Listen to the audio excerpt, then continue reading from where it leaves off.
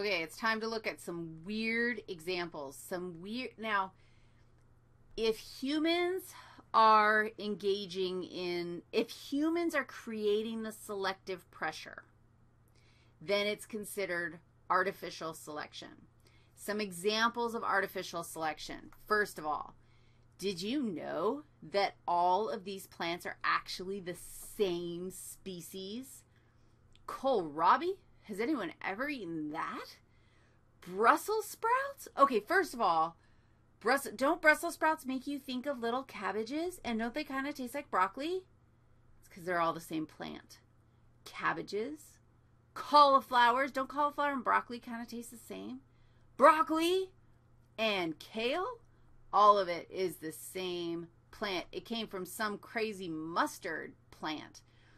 And then a human was like, I really want a big stem from my mustard plant. And took the seeds from the bigger stemmed mustards and then planted those.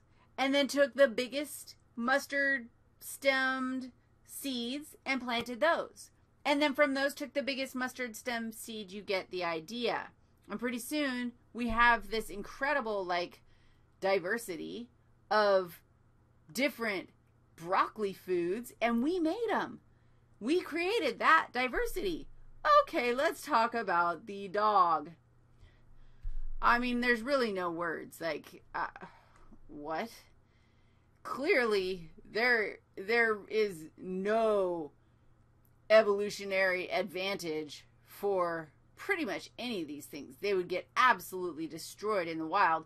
This is the wolf from whence they came. And I, I, mean, it's pretty unbelievable how we ended up with what we ended up with in the world of doggies. And that's our, an example of artificial selection. what, what, what can I say about Dreadlock Dog? Poor Dreadlock Dog. This is a real dog. And he really has dreadlocks. And that's not like that's a species of dog that we've created that has all those dreadlocks. Like, isn't he hot? I'm sorry, dreadlock dog. That's artificial selection gone crazy.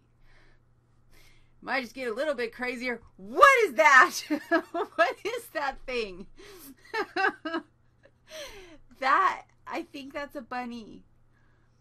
Is it? Look, there's his little bunny nose and bunny. I think those are little bunny ears. That's like the bunny madness. Okay, I would take one of those, but I feel really sorry for that thing because somewhere in there is bunny. And then, of course, like those are all human created, but then there's like, what? This thing, the proboscis monkey, this is an this is not artificial selection. We did not do that. We are not responsible. He can honk with that thing and make all sorts of cool noises and guess what the ladies think? Whew, look at his nose. Mighty fine, mighty fine.